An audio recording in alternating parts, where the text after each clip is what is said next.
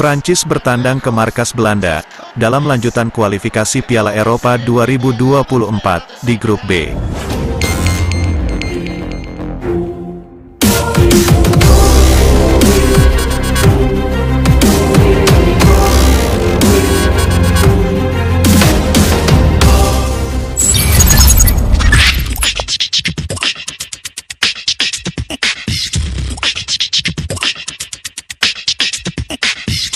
Prancis bertandang ke markas Belanda, dalam lanjutan kualifikasi Piala Eropa 2024, di grup B. Sebelum lanjut, jangan lupa like, subscribe, dan aktifkan icon belnya, agar tidak ketinggalan konten-konten terbaru dari kami, Molukas Oranye Community, MOC, ONS Oranye Maluku.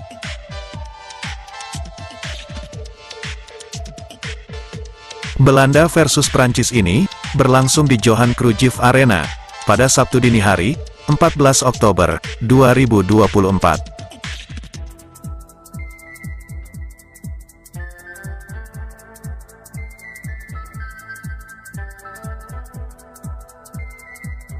Tim tamu memimpin 0-1, di babak pertama, lewat Kylian Mbappe.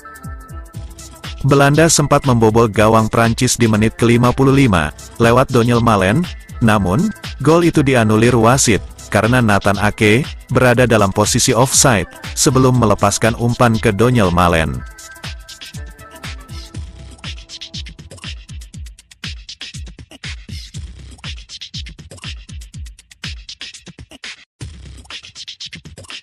Mbappe kemudian mencetak brace di babak kedua, dan membawa Prancis unggul 0-2.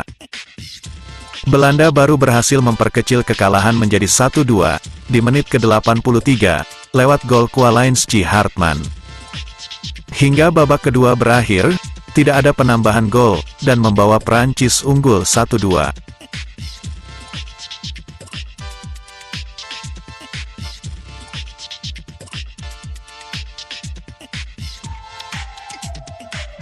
Hasil ini membuat Prancis makin mantap di puncak klasemen grup B, dengan 18 poin, dari 6 laga, dan Belanda turun ke posisi ketiga, dengan 9 poin, dari 5 pertandingan.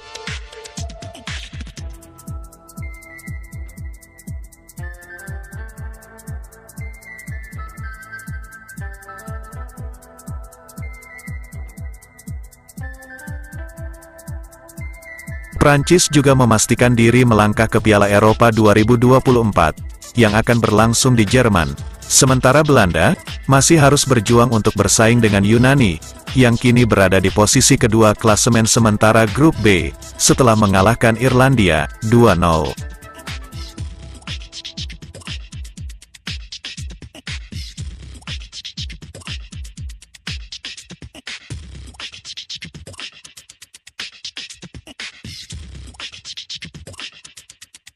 Berikut klasemen sementara grup B, kualifikasi Piala Eropa 2024.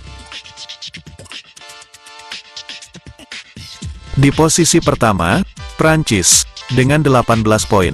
Posisi kedua, Yunani, dengan 12 poin.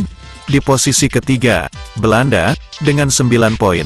Di posisi keempat, Irlandia, dengan 3 poin. Dan di posisi kelima, ada Gibraltar, yang tanpa poin.